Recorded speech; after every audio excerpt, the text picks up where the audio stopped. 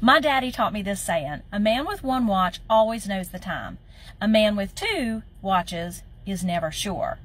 I believe this also relates to our calendars.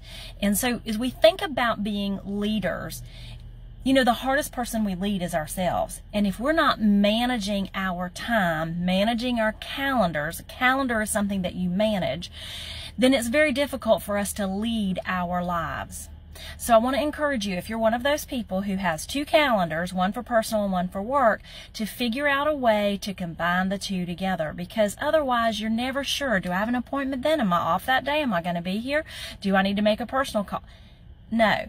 Just put it all together on one calendar and then you can manage your time efficiently and effectively, which will help you or enable you to then lead your life with greater success. And the better you lead you, the better you can lead others. Take that small nugget, let it have big impact in your life.